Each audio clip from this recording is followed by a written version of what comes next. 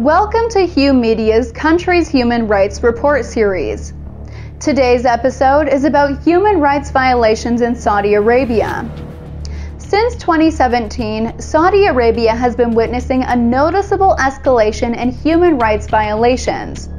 The authorities have launched arbitrary arrest campaigns against hundreds of activists, scholars, and opinion leaders to suppress dissenting voices in the kingdom. Saudi courts issued several arbitrary imprisonment sentences against conscious prisoners based on fake convictions.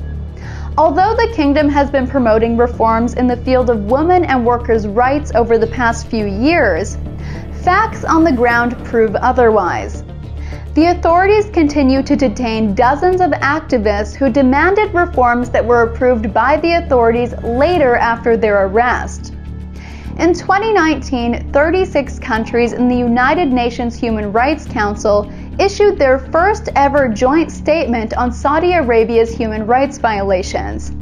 The signatory countries called on the kingdom to release all individuals detained for exercising their fundamental freedoms. In several detailed reports, Euromed Monitor documented the Saudi Arabia's authorities' violations of local and international laws through crackdowns, arrests, and intimidation.